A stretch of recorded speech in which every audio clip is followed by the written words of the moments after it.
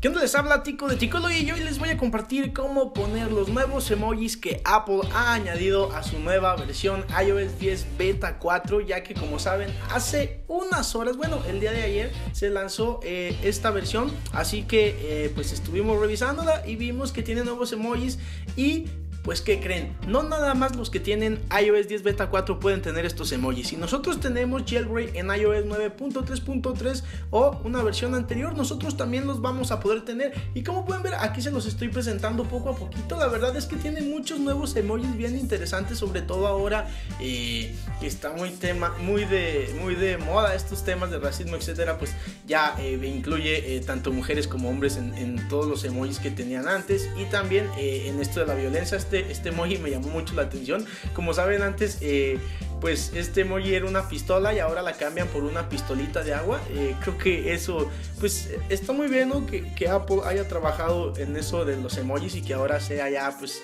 ahora sí que ¿cómo decirlo? Que sea totalmente eh, bonito todo, todo, todo este tema de, emojis en iOS, ¿no? Y pues bueno, para eh, nosotros tener estos emojis en iOS 9, eh, lo que tenemos que hacer es tener el jailbreak y también vamos a agregar dos repos, las dos repos que les están apareciendo en pantalla, ¿vale? Van a añadir ambas repos y ya que las añadieron, pues ahora sí nos vamos a ir a instalar los tweaks que vamos a necesitar, que en este caso van a ser fuentes. Bueno, un tweak, ¿vale?